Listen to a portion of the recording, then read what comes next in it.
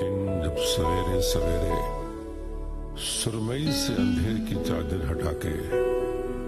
एक पर्वत के तकिए से सूरज ने सर जो उठाया तो देखा दिल की वादी में चाहत का मौसम है और यादों की डालियों पर अनगिनत बीते लम्हों की कलियाँ।